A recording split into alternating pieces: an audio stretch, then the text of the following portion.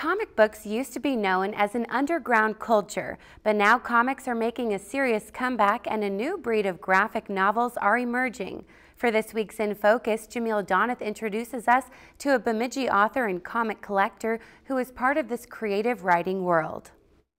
This is done by Christopher Jones. Comic collector by day, fiction author by night. I got those yesterday, didn't I? You could say creative writer Roy C. Booth literally lives in a fantasy world. There's quite a few of us who, you know, in the horror mainstream or underground, if you will. Not exactly a graphic novelist, Booth and his sidekick R. Thomas Riley specialize in speculative fiction. Considered science fiction, fantasy, or horror. It has a lot of strong comic book themes and tropes, if you will. Booth and Riley's newly released collaboration, The Flesh of the Fallen Angels, is the first part of a science fiction western series. The genre is weird western. You're basically combining the best of both worlds between westerns and sci-fi. This one in particular was originally sold as a graphic novel. But even though these authors don't write graphic novels, they are very much a part of the comic book craze. And it goes from A all the way down to about, I think, S. From household names like Superman to less common titles like Aquaman,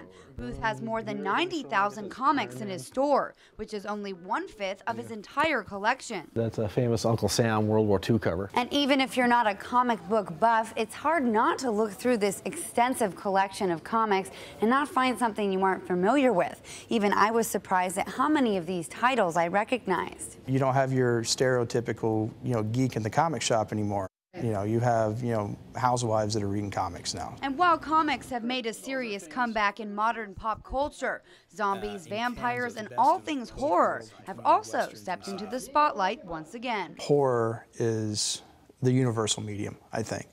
Uh, it's it's in everything. Actually, it's picking up. You can tell from a lot of uh, uh, alternate media like movies and that sort of thing. This genre of horror, gore, and superheroes may seem like senseless entertainment Marvel. to the untrained eye. I think no matter what, horror is a genre where you can have a message but these comic book buffs don't really care if people think graphic novels are for nerds. They will always be proud to say they are part of the comic culture, whether it's considered cool or crazy.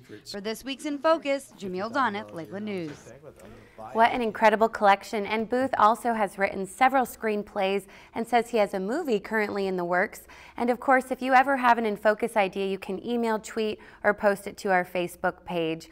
If you've enjoyed this segment of Lakeland News, please consider making a tax-deductible contribution to Lakeland Public Television.